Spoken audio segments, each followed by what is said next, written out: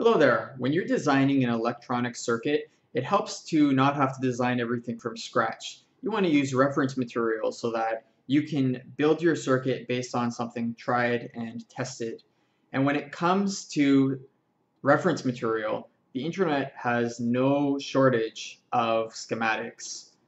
But you got to be careful. Just because your schematic that you're using was found on a reputable website or even in a textbook that doesn't mean it's going to work. In this video, I'm going to go over the common pitfalls in designing a, a popular bidirectional motor controller, um, also known as an H-bridge. In other words, how not to build one. Now take a look here. This is the SparkFun tutorial website, and I was looking through some of their designs. And I noticed that they had an H-bridge here, and this kind of made me cringe a little bit. Uh, it just doesn't seem right with me. So I, I modeled this actually on a, uh, in a circuit simulator. And um, why don't you take a look? Why don't you pause the video and see if you can find anything wrong with this circuit?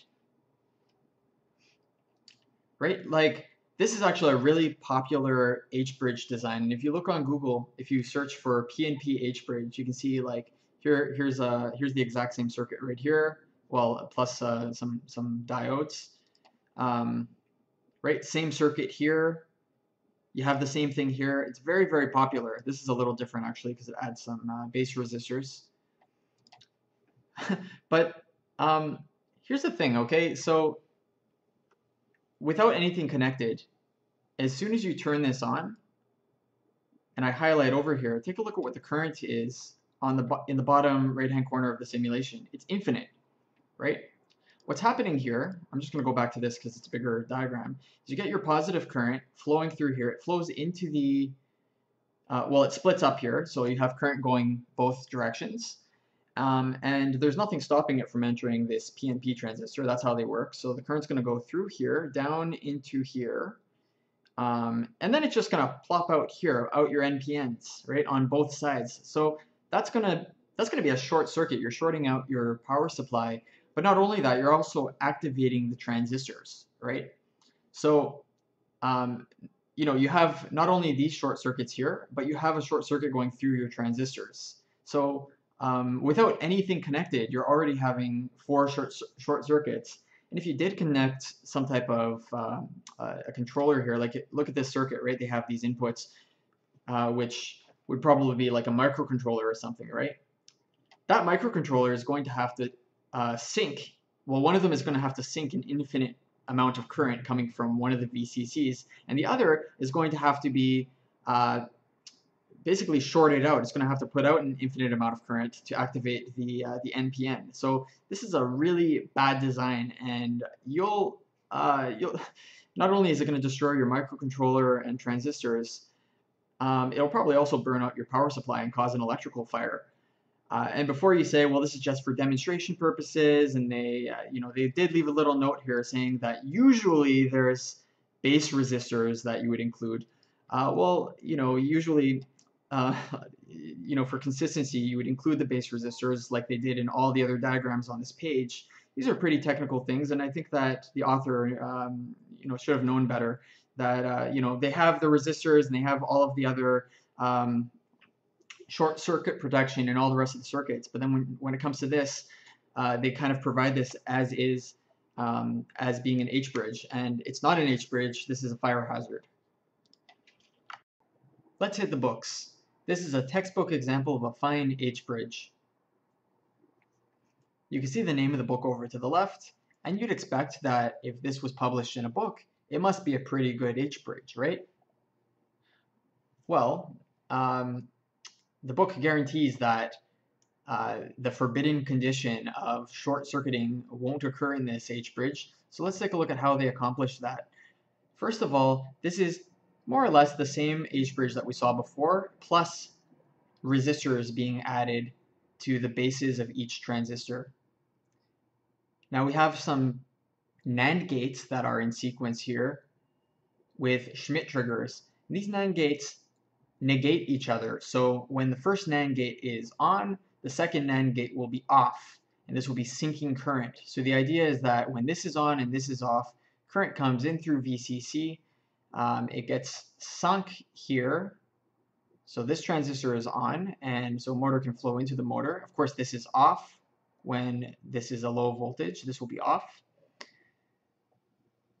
Current can't flow through here because this is going to be a high voltage here, right? Because this is going to be on, but this transistor down here will be off because this is, sorry, it'll be on because this is an NPN. So high voltage here means that this will be on. So current will flow down through here, through the motor, and out to the ground on the right-hand side. And, um, and of course, when you invert your input here, it's a single input uh, circuit, the opposite will take place and current will actually flow the opposite direction. Do you see any problems with this circuit? Does anything come to mind of any hazards that we might have to face if we were to build something like this? Turns out this is a pretty popular design for an H-bridge, as well as the other one that I, I showed. This one's probably even more popular, in fact. And, well, something did come to mind. I was a little bit worried about um, uh, just something that kind of caught my eye. I noticed that this H-bridge actually sort of more or less has the same problem as the uh, um, as the first one that I showed.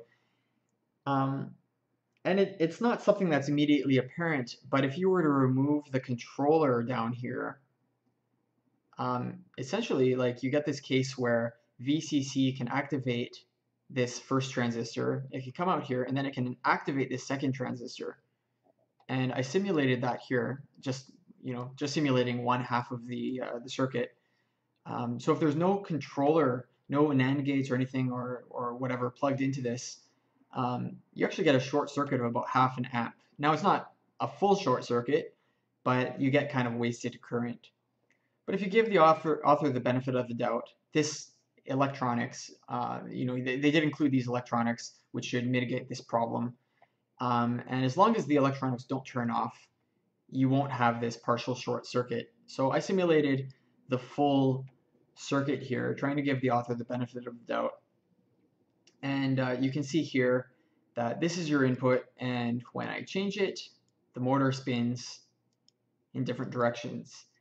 And notice that all of the voltage is being dropped over the motor, or at least most of it is, 4.27 volts out of 5. That's pretty reasonable. The first problem with this, though, is that there's no way to turn the motor off, right? There's no way I can turn this off. It's either going one way or the other. The other. So if you wanted to turn the motor off, you have to alternate the current using a PWM signal. And that's why I've set this thing up here. So in this case, I'm just I'm just bombarding it with uh, on off on off about a thousand times a second, I think, and that creates this uh, this situation where you know the motor is basically off. A little bit of current is still passing through, but for the most case, it's off. Now notice that even when the motor is in an off state, right, there's still current flowing through this top wire here. Take a look. There's about a third of an amp that's just being wasted, right? Why is that?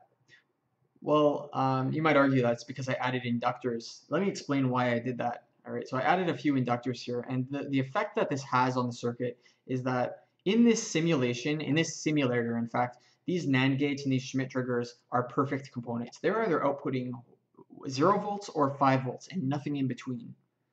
Right? But that's not the way that components work in real life. There's always going to be an on or off delay. If you look in the textbook here, the author provided a part number for these devices, um, the 4093, and I looked up that part number.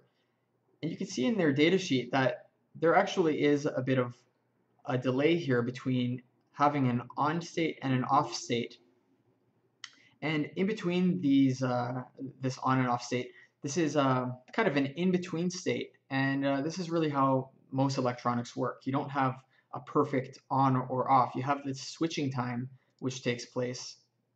So uh, when you're designing a practical circuit and you're trying to simulate the circuit to find out if there's any hazards, we need to we need to include this. So I added the inductors, and I don't know if this is the perfect model of this switching time delay, but I decided to add it in just so that we can get a feel for what might happen. Um, but again, it's not perfect. But when I turn on this PWM signal, what happens is that both of these uh, sides of the circuit um, kind of get to this medium on-off state. It's not quite zero volts, but it's not quite five volts. It's somewhere in between. And that creates this uh, short circuit condition where the transistors are not completely on or completely off. You're wasting a lot of current. So that's going to drain the charge of your battery uh, more than uh, more so than even if the uh, the battery was driving the motor, which is very very wasteful. There's another problem with this circuit though that's a little bit less obvious. This circuit mm, kind of works if you have a 5 volt input, right? But let's find out what happens if I were to, to change this to 12 volts. Whoa, that can't be right.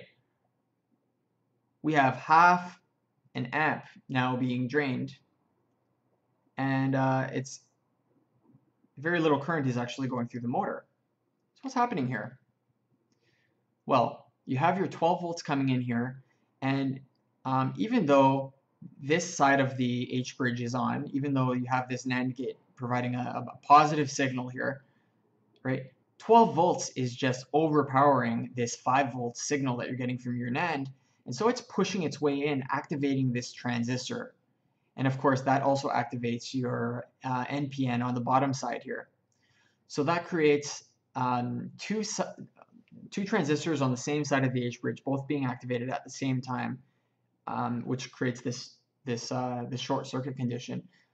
Now, there's ways to fix this. You you would have to make the uh, the NAND gate um, output 12 volts instead of just five, which is fine. You can add additional electronics for that. But if you're going to be adding more transistors and increasing the complexity of the circuit, then for goodness sake, you might as well just make the circuit have the ability to stop the motor, right? And have some other neat features like, um, well, you get the idea. So I would argue that this is uh, a circuit design to avoid. Um, just stay away from it, stay clear of this one, and build something a little bit more sophisticated or build something that at least um, doesn't have the risk of draining your battery and wasting it like this, um, like is shown in this circuit. Going back to more textbook examples, here's another design for an H-bridge which is very common. What do you think? Do you think this H-bridge would work? Do you see any hazards with it? Do you think that it would work at maximum efficiency? Well, it turns out this is the first H-bridge that I ever built. Um, a few years ago, probably my first or second year of university, I used this exact design when I was working on a robotics project. I drew it out on paper and I was convinced that this is a really good design. It's going to work, um, and it looks it looks like a pretty solid H bridge to me. And then when I put it together on a uh, circuit board, a breadboard, it didn't work, and I was shocked. Um, and it took me a while to figure out why it doesn't work, but now it's pretty obvious. Now I've simulated this exact circuit in the circuit simulator so we can take a look and analyze what's going on here. When I activate one of the inputs, we get the diagonal transistors here activating. Current flows out of the 12 volts into one NPN through the motor and out the second NPN into ground, right? And when I flick that off and turn the other input on, you get opposite transistors turning on, which allows current to flow the opposite direction, and the motor will spin the other way. But there's something very peculiar going on here. The power source is providing 12 volts, but when I highlight over the motor, we're getting a voltage drop of 2 volts. So where is the remaining 10 volts being dropped? It's, it seems to be just vanishing. And to get the maximum power out of our motor, we want all 12 volts ideally, or as much as possible to be dropping over the motor itself. Turns out that all of the voltage is being dropped, or nearly all of it is being dropped um, by the first transistor. Can you think of a reason why that might be happening? Well, one thing that comes to mind is that maybe the, the path of positive current that leads through the top resistor ends up having more net resistance throughout the rest of the circuit because it has to go through two transistors and the motor. But the problem is actually a little bit more subtle than that. I mean, that, that effect is there, but that's um, almost negligible compared with the other problem, right? Think about this. You have 12 volts as the input for this circuit, and you want all 12 volts to drop over this motor. So now think about this for a second. Imagine that we accomplished our goal. Imagine that the rest of the circuit worked, um, and suppose that we actually were able to get 12 volts to drop over this resistor or this motor.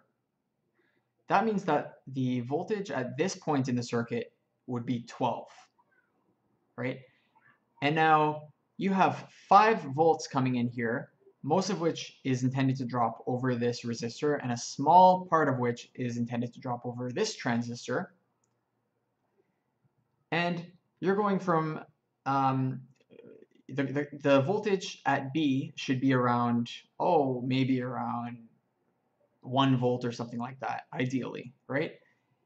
So you're going from a potential of 1 volt into a potential of 12 volts. So current doesn't want to do that. So the 12 volts is actually pushing back on your 5 volt current here. And what's happening is the reason you're, you're only getting um, 10 volts here is because, um, sorry, the reason you're only getting 2 volts over the motor and 10 volts over the transistor is because the transistor has reached an equilibrium. It can't turn all the way off because when it's off, the 5 volts pushes back at the 0 volts, which is now on the left-hand side of the motor, and it's able to activate the transistor, but it can't turn all the way on because when the transistor is all the way on, then this point of the circuit has 12 volts, which pushes back. So the equilibrium happens to happen around 2.2 volts here and so this circuit doesn't turn all the way on, and uh, much to my frustration when I first built it. So this is not a good H-bridge design for that reason. Now my next video is going to be a detailed tutorial on how to build a proper H-bridge with all the bells and whistles. So be sure to subscribe to my channel, post any questions you have in the comments below, and thanks for watching. Goodbye.